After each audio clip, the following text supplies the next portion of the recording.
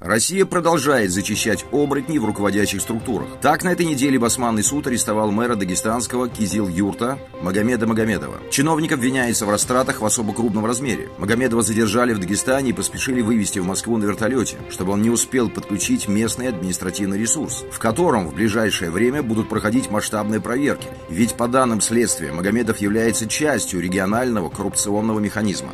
Свое наказание настигло и зам главу Нижнего Тагила Вячеслава Данилова, который брал деньги за содействие в получении многомиллионных госконтрактов. Теперь же чиновник находится в СИЗО, и ему грозит до 15 лет лишения свободы. А в Иркутской области генеральный директор ресурсснабжающей организации решил заработать на получении бюджетных субсидий. По версии следствия, подозреваемый завышал сведения тарифов на тепловую энергию и оплату налогов. Так ему удалось заработать порядка 30 миллионов рублей. Уголовное дело направлено в суд и наложен арест на имущество предприимчивого гендиректора на сумму 52 миллиона рублей.